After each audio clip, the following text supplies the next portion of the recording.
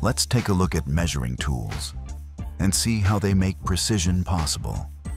A pressure gauge is a device used to measure the pressure of a gas or liquid in a system, displaying readings through analog dials or digital screens.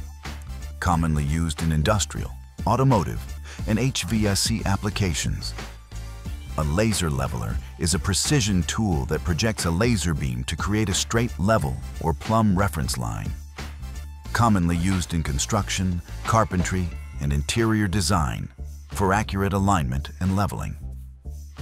An angle locator is a precision tool used to measure, replicate, and align angles accurately, featuring options like digital displays, zeroing functions, and magnetic bases for hands-free use in construction, woodworking, and metalworking. An inclinometer measures slope or tilt angles relative to gravity, ensuring precise alignment in construction, engineering, and navigation. A vernier caliper measures internal, external, and depth dimensions with high accuracy by combining a fixed main scale and a movable vernier scale, allowing readings to the nearest 0.02 millimeters or 0.001 inches.